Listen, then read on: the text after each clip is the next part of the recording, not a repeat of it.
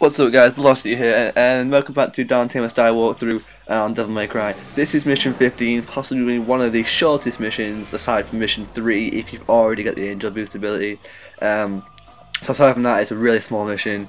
You don't even have to fight anything, um, you can just uh, get, and fly right past them, but I decided to fight them just so I can get a triple S in there, just to make it a little more entertaining to watch instead of me just flying through the whole mission because um, this mission is pretty pretty easy. Um, really self-explanatory doesn't really need that much skill in helping to beat it. So um, with that being said guys um, I hope you enjoyed the video and uh, I'll see you towards the end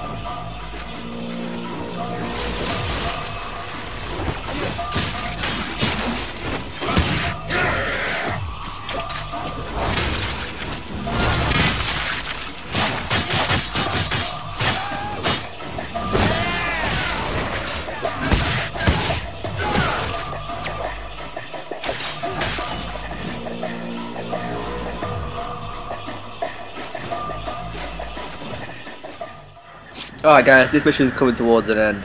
Uh, thank you for watching mission 15. Uh, it's really really short like I said. So um, I'll see you guys on mission 16. Um, that should be two parts it's quite a big one. And I'll, I'll be helping you get through that one. That's quite one of the bigger missions that you need more help on. But uh, for now guys, thank you for watching and I'll see you on the next mission. Take it easy guys.